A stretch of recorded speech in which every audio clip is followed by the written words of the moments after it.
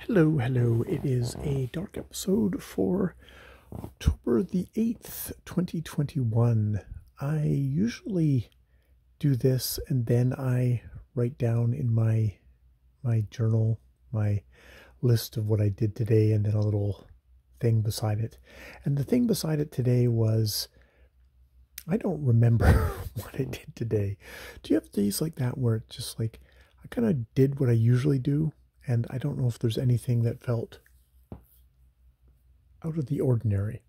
I think the thing that was not out of the ordinary, but that was notable, is that Ja's been feeling really hammered lately. She's had stuff happening on her side of things, and then you add, you know, our deck is falling to bits, and then there's other demands happening and it's really kind of kind of down on her. And you know we just sat in the kitchen in our little kitchen nook which is a couple of chairs by a little card table. And we just sort of sat and we chatted. And um, kind of took a breath.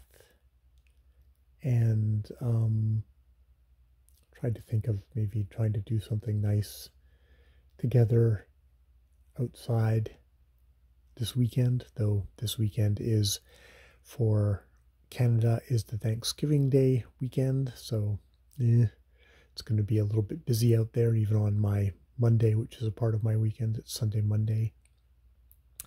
But, you know, I just like to note that of the many things I try and get done and all my lists and stuff like that, I put that on my list as something really accomplished, which was just sitting there, the breakfast nook together and chatting. That was really good. Um, yeah, those those are the things that, you know, for all the other stuff, that's the stuff that we we I, I try and hold on to and try and actually participate in because that can be that that that that, that strengthens us that that that energizes me and that hopefully helps her as well.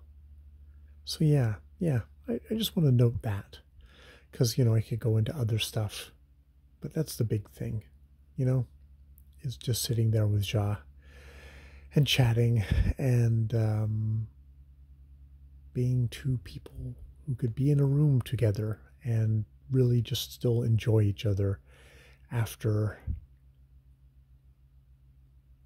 30 plus years of marriage which is insane to me. It sounds insane that that you know that we've made it that long and there's been some real dips in there and places where we have, you know, we have separated. We were separated for a while, but we made it back together again.